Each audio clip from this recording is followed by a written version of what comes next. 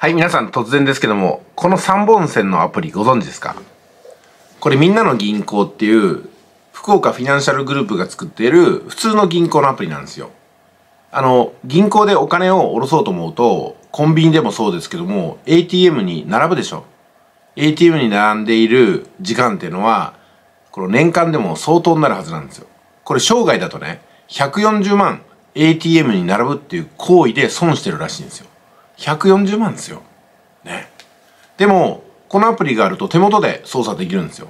さらに、このみんなの銀行ってアプリ、実はね、アプリをスタートした瞬間に1000円もらえるんですよ。この1000円ってのはもう次の日には現金で下ろして使うことができます。しかもマックス30万までもらえるんですよね。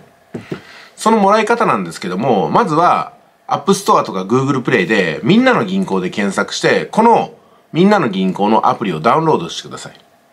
その後でね、そのみんなの銀行のアプリに、当然ですけども、プロフィールを作らなければ銀行口座って開けないでしょ。これも5分でできるぐらいむちゃくちゃ簡単です。ちなみに、自己破産、ブラックの方でも、今のところ全員作れてます。ね、すごいでしょ。で、そのプロフィール欄に、紹介コードがあるでしょ。紹介コードをつけて入力するんですよ。そうすると1000円入ります。で、みんなの銀行のアプリがスタートするわけですけども、今度はあなたの紹介コードが発行されてるわけですよ。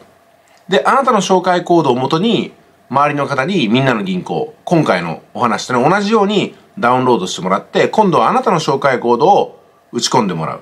そしてプロフィールを完成させると、紹介を受けた新しい人と紹介をしたあなたにですね、それぞれに1000円ずつ合計2000円が入ることになります。で、マックス30万までもらえるんですよ。とりあえず1000円もらうためにも、まずはみんなの銀行ダウンロードして、ぜひこのね、紹介コード入れてみてください。